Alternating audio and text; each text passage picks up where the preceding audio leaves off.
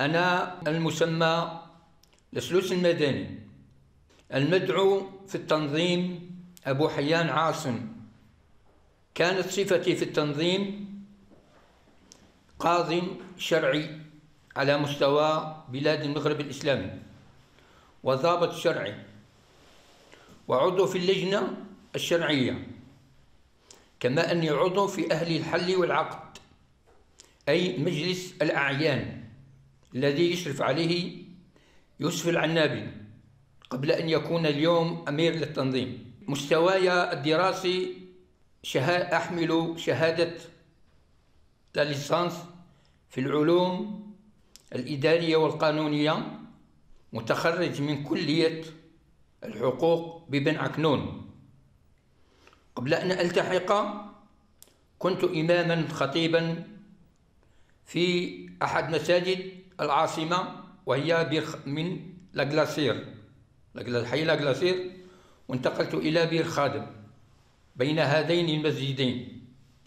والتحقت في شهر مارس 26 مارس سنة آه 1994 التحقت في كتيبة جبل اللوح عند الشيخ صوان في 26 مارس 1994 حينها عينني الشيخ عبد القادر صوان كلفني الشيخ عبد القادر صوان بمهمة آه، القضاء بين والنظر في القضايا والنزاعات التي تحدث بين الجنود على مستوى كتيبتي.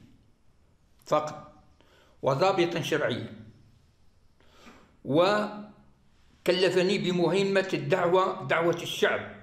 أخرج للشعب وأدعوهم إليه. دعوهم وأقنعهم بحكم الجهاد. كنا دايرين جهاد شرعي.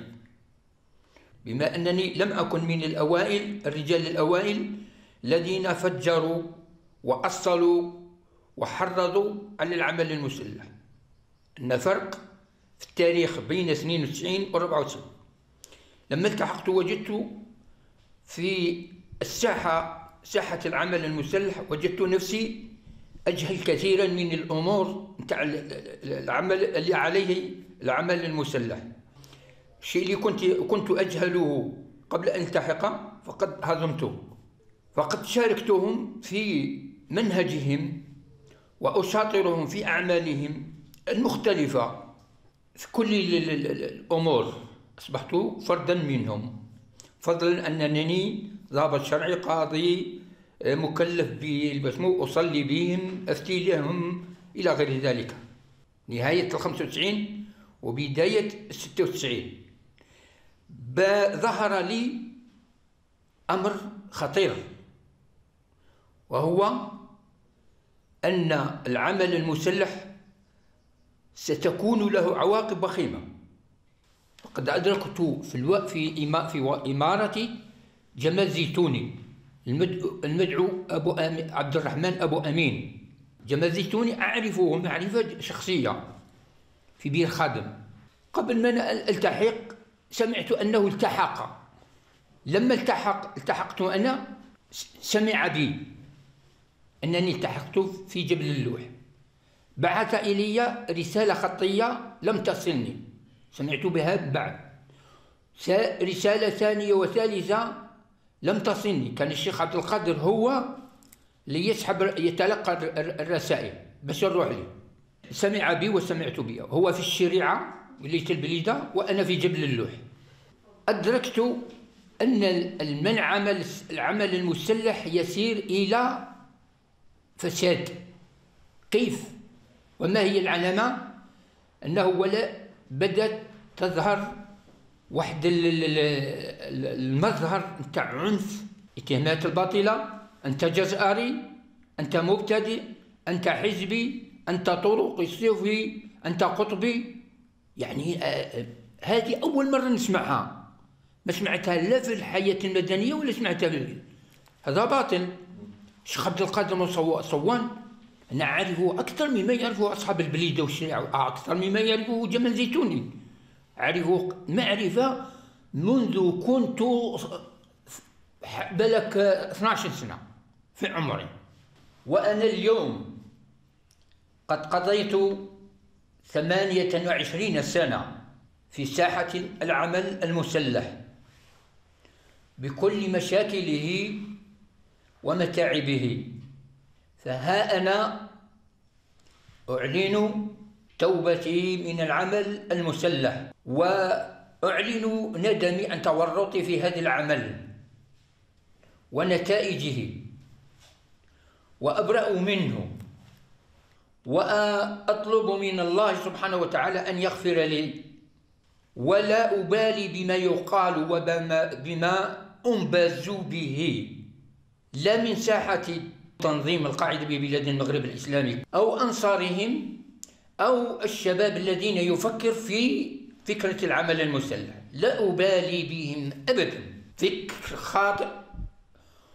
الذين فجروا العمل المسلح ما كانوش في المستوى. واليوم بحكم أني كنت أمير منطقة الغرب تحت راية الجماعة السلفية للدعوة والقتال. من شهر أوت سنة 2004 إلى أن إلى 2008 أعرف أمراءها ومجلسها الشوري.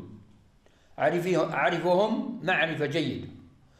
في تلك الفترة كان جنود المنطقة يتراوحون ما بين 150 160 إلى حد الوقت الذي استدعيت فيه إلى عبد الودود بتيزي وزو وهي ماشي منطقة نتاع الغرب. استدعيت لمهمة. فالذي كنت أعرفه هو عبد الحفيظ أبو تمام حبال إبراهيم. تولى الإمارة بعدي وثم قتل في السنة الماضية. والذي خلفه اليوم ولا زال لحد الساعة هو إدريس. فأنا اليوم أدعو أدريس مباشرة. فأقول له يا يا أبو مدين دبار المدعو أبو خليل إدريس.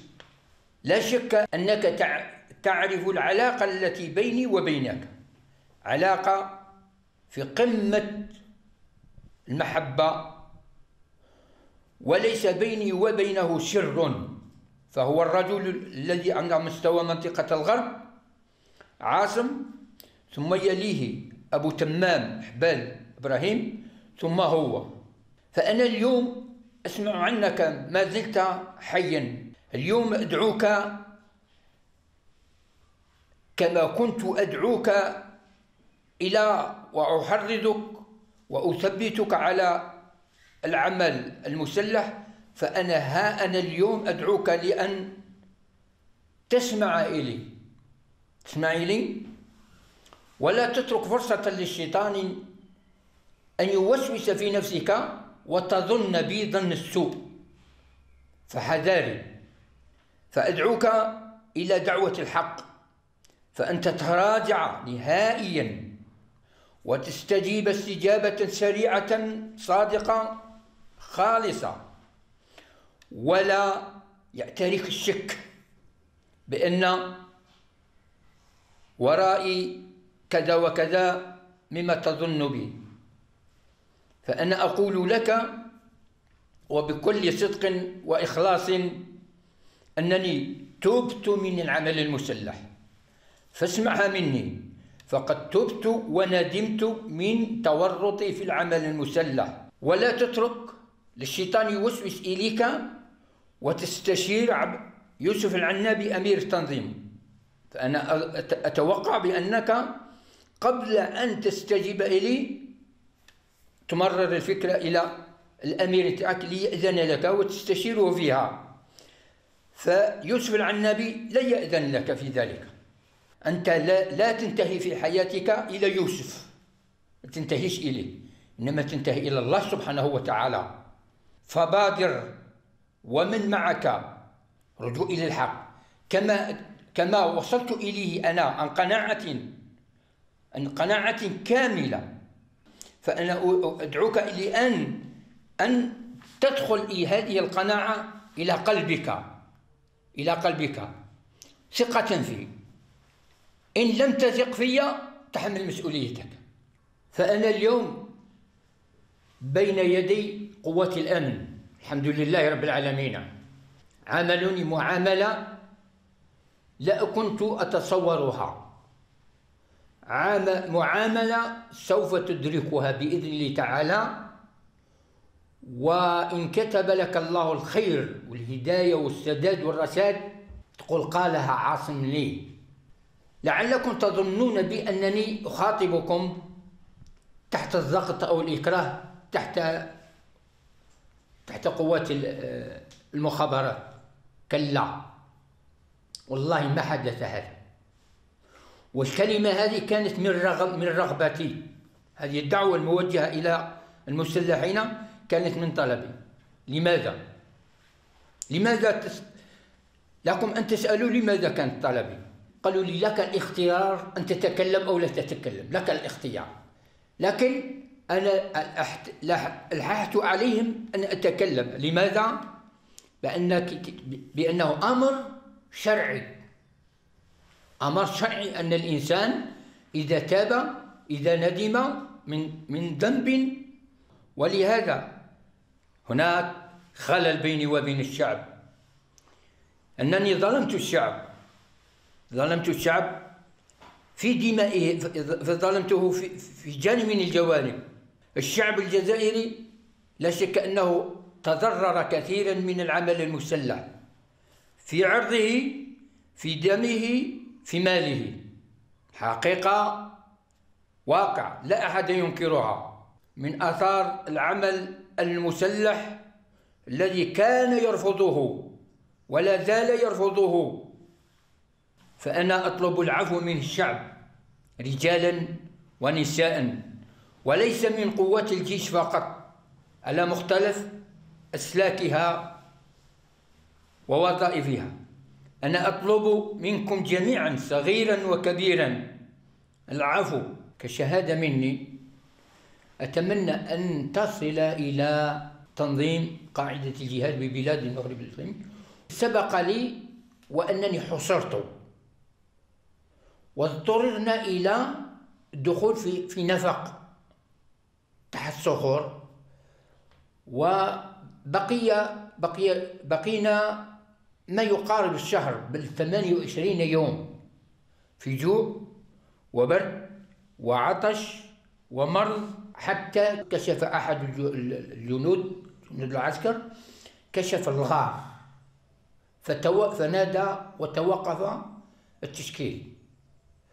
عند ذلك لما تأكدنا وعلمنا أنهم تنقنوا رانا راهم راهم يقتلونا. رانا رايحين للقتل فأنا ناديت المجموعة اللي معايا كنت في يعني حتى ما قدش نهدر. قلت لهم أخ عيطوا قولوا لهم أننا نسلم أنفسنا.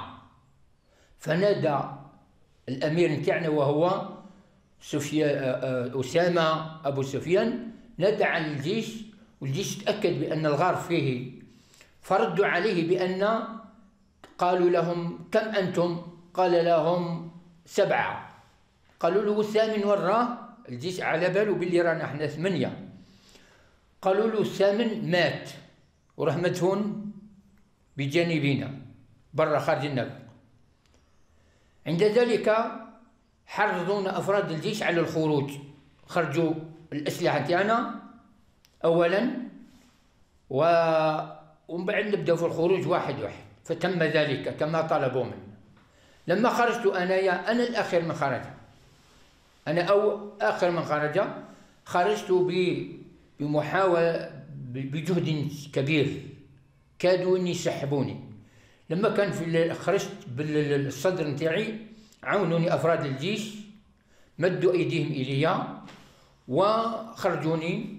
ومن بعد طلبت منهم الماكلة والشراب فتهاطلت علي كمية من كمية من الأكل والشرب.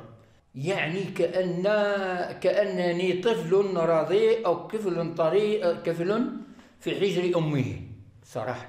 ساعدوني في الخروج. ساعدوني في الحالة هذه وينا بكل ما يقدروا. يعني ولاو يعيطوا على بعضهم بعض هات الخبز هات واش كاين عنده يعني ولاو ينيدوا عليهم يعني هو الماكله نتاع نتاعهم هما ولاو يجي من هيه من هيه من هنا جمعوني حتى وليت يعني شبعت الحمد لله. بما فيهم إحنا جميعا في السبعة كامل جمعوا لنا كمية. كل كل كل كل يعني بصراحة قلت لهم إنني راني على وشك الموت. هكذا علمت قلني يعني بصوت خافت. قلت لهم بكل تحسر قلت لهم أنا راني راح نموت. راني راح نموت. ثم ما داروا لي لا سلسله لا والو عاطيني هكذا رفدوني. جابوا السرير. قبل ما يجيبوا السرير رفدوني على أكتافهم حملوني على أكتافهم في وسط الخرش في وسط الخرش. ما مسنتنيش خرشة هكا. ما خمستنيش أي خرشة هكذا ما خمستنيش. خمس رفديني وين؟ أكتافهم. خاطر يرفديني وكتافي وجوني واحد الأفراد جوني ما شاء الله قوة وصحة يرفدني كأنه رفد واحد عنده صبي. يعني يحس يجري في العقبة. خاطر من بعد جابوا لي السرير ولاو رافديني يجروا بيا طالعين هكذا وهم فرحين وأنا الحمد لله وأنا فرحت في هذيك الحاله الحمد لله الحمد لله. كل الأفراد اللي كانوا معايا صحابي كانوا فرحين. خرجونا الفوق خرجونا للتراب البيستا. وزادونا ولا واش تاكلوا؟ واش تشربوا؟ واش تاكلوا؟ واش تشربوا؟ ومن بعد طالعين طالعين طالعين حتى وصلنا للخيمة تاع القيادة وهناك تمت الترتيبات. حسن إلينا ما شاء الله يعني ما كناش نصدقوا لا أنا ولا أصحابي يعني حتى ركبنا في السيارة وانتهينا إلى المقر هذا وهنا. وطمعنونا على أنفسنا قالوا لنا راكم تحموا وتلبسوا ونكسوكم ونجيبوا لكم الطبيب والطبيب جاء الطبيب الممرض من الوقت اللي خرجنا من الغار جا لينا. من هما قالوا لي الإخوة جميعا اللي شافني قال لي هذه مرحلة زائلة تفوت. بمجرد أن تاكل وتتحم وتلبس وترقد وتريح وتطمئن إلى نفسك كل وصلت راني الحمد لله راني خير بعيد بعيد على الحالة اللي كنت فيها في, في الغار ولا خرجت من الغار. الحمد لله.